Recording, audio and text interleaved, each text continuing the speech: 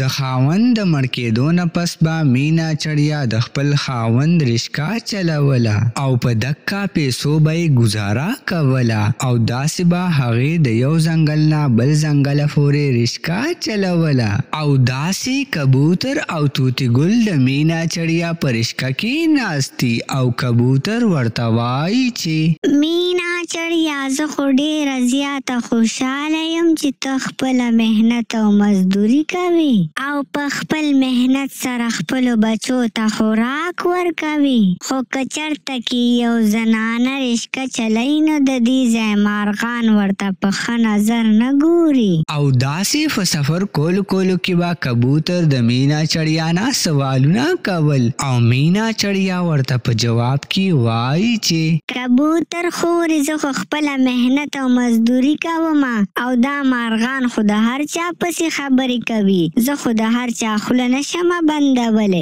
او داسې په خبرو کولو سره د کبوتر او د طوطي ګل والا ځای راورسي او دواړه د رشکې نه کته کوز شي او داسې هغه ستاپ سره نزدې چانو هم ناسته يي او هغه د مينا چړيا خوا ته راشي. مينا چړيا زه دلته کې پلار کره راغلي وم ما خو وي په خپلو وزرو به واپس لاړه شم خو زه ډيره زياته ستړې شوي يم ته به ما په دي خپلې رشکې ته خپل کور ته بو نه ځي. او شانو خوري زما خو کار. کار دا دی زه خو رشکه چلومه راځه کینه راسره. ښه مینه چړیا دا راته ووایه چې کرایه به څومره اخلې زمانه. داسې خو زه د غر واله ځنګل ته شل روپۍ اخلمه خو ته زما ګاونډی یې راځه ستا نه به لس روپۍ واخلمه. او بیا داسې شانو د مینه چړیا په رشکه کې کیني. مینه چړیا ته د یوې ورځې څومره پیسې ګټې؟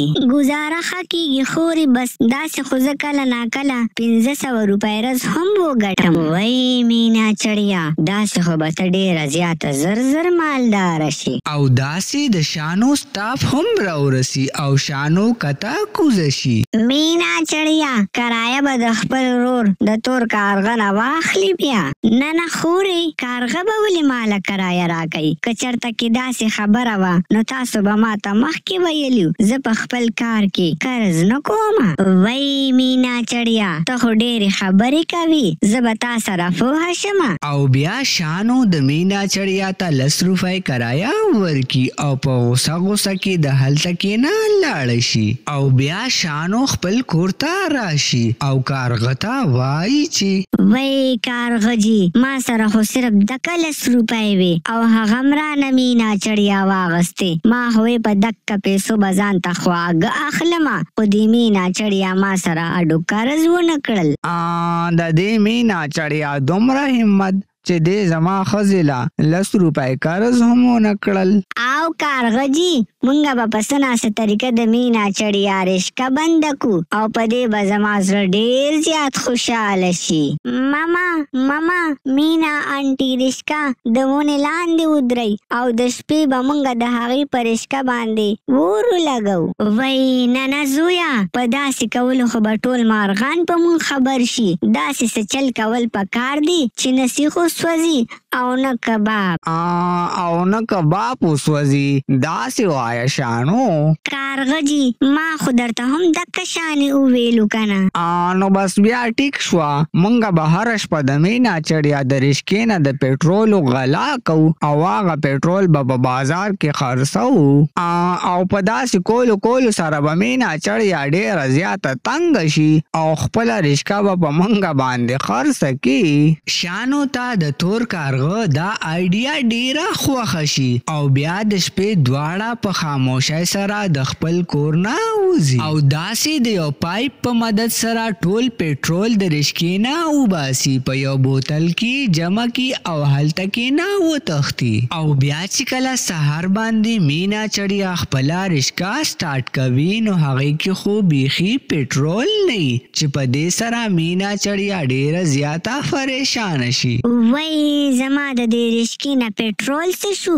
ما خو پرون ټېنکۍ فول کړې وه، خو ځه کېدای شي پټرول واله مارغه راته پټرول کم اچولي يي. او مينا چړيا بيا پټرول فمپ ته لاړه شي او ټېنکۍ فول کړي او دا. شخصي مينه چړيا د ټول رس په رشکی چلولو سره هغه صرف د پټرولو پيسي جمع کی او فه بل طرف ته تور کارغه او شانو هغه فټرول خرڅ کی او په هغه پيسو ښی مزی کوي. کارغه جی اوس په مونږ روزانه د مينه چړيا د رشکی نه پټرول وباسو او مزی چرچی به کوو. آواو او مينه چړيا به د لوږی نه مړه شي. او دی ويلو نه فس ښځه او خاوند دواړه په خندا شي او بیا داسې په بله شپه باندې تور کارغه او شانو د مینا چړیا د پټرولو ټینکی خالي کړي او بیا چې کله مینا چړیا د خوبه نه ویښه شي او رشکا سټارټ کوي نو ټینکی خو بیا خالي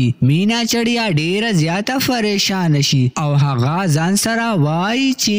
دا ما سره څه کیږي ماته خو ښه یاد دي چې بیګا د شپې ما ټینکۍ فول کړې وه نو بیا دا خالي څنګه شوه؟ او هغه بیا د پمپ ته لاړه شي او ټینکۍ فول کړي او داسې مینا چړ یا څو ورځې ډیره زیاته پریشانه وي. بیا یو ورځ مینا چړ یا رشکه ودروي او هغه د اوبو څکلو دفاره نهر ته لاړه شي او د شا. انو زوی فه یو ونه باندی ناست دی او هغه ورته نیغ نیغ ګوری. د مما پپا په شانتې نن زه هم د پټرولو غلا کوم په بازار کې به یې خرڅ کړم او په هغه پیسو به ځان ته ټافیانې والم. او دې سوچ کولو نه فه سلطان په تیزی سره د خپل کور نه پټرولو والا پایپ او بوتل راواخلی او هلته کې رشکی خوا ته راشی او داسي سلطان هغه فايب د رشکې ته ولګي او د فايب بل سايډ چي بوتل کي کيدي نو هغه خطا شي او ټول فيټرول د سلطان خيټي ته لاړ شي چي هغه فه هغه ځاي کي بي هوشه شي او بيا چي کله مينا چړيا وافس شي نو چي هغه فايب بوتل او بي هوشه سلطان سهي کي نو هغه په هر څه باندي پوه شي خو بيا هم مينا چړيا سلطان بچ کي او هغه زر زر هسپټل ته بوځي او هسپټل کي ګونګی ډاکټر زر زر د سلطان د خيټي سپايي وکي او بيا داسي هلته کي زر زر تور کارغه او شانو هم راشي او بيا لږ ساعت پس سلطان هم په هوش کي راشي. ماما ماما زه مينا چړيا انټي بچ کړم که چرته نن مينا چړيا انټي زه په وخت. نو هم راوستی نو زه به مړ شوی وم. مینا خوری مونږ معاف که مونږ ډیر زیات شرمنده یو دا هرڅه زمونږ زوی زمونږ نه زده کړی دی که مونږ چرته کی څه غلط کار نه کولو نو زمونږ زوی به هم نن داسی نه کول. او شانو خوری ځکه خو وایی چی بچی د خپل مور او پلار نه زده کړه کوي مونږ له خپله هم ښه کارونه کول پکار. پکار دي او خپلو بچو ته هم ښه کارونه ښايل فکار دي. بيا مينا چړيا تور کارغه او شانو هم معاف کي او بيا مينا چړيا بغير څه مشکله خپله رشکه په خوشالۍ خوشالۍ سره چلوي او شانو او تور کارغه هم د زړه نه ښه توبه اوباسي. د دې کهانۍ دا مطلب شو چې مونږ له خپلو بچو ته ښه تربيت ورکول فکار دي.